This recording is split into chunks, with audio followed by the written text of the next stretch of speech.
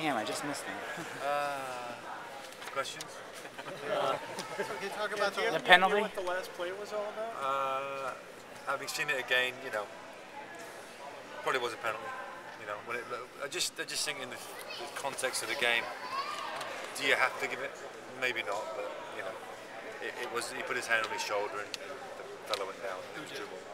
Uh, Ryan Johnson. Ryan Johnson. Just kind of because he's going to volley it, and he just kind of tried to get the other side of Drew him. Moore, right?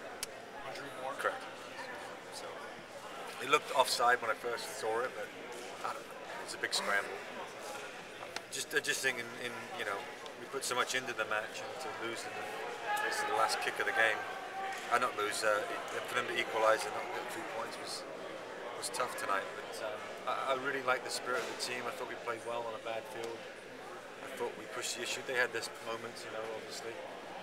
But I think you know we, we should have should have finished them off at, at, at one 0 We had a couple of breaks where I think Wondo had one and Bobby had one. We just just stick that in and just it kills the game for them. But you know, one 0 they've always got a chance and they kept they kept going and, and got it in the end.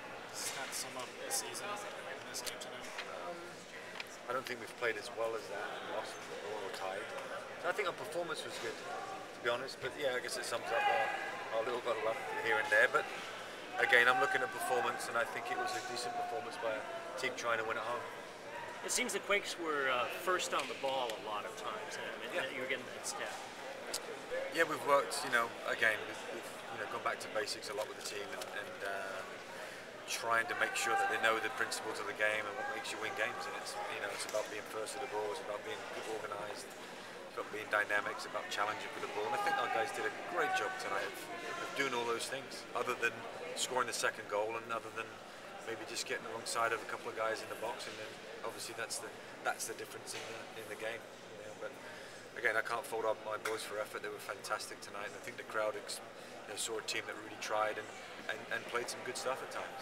When they get a goal like that, does it feel like a loss? Even though it's not? Yeah, I mean, their boys are just, you know, really disappointed um, because they, again, put so much into it and you only get a point out of it.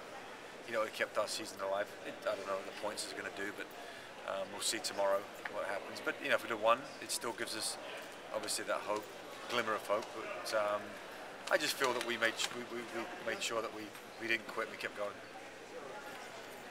Thanks. Joe's over there, by the way. Thank you.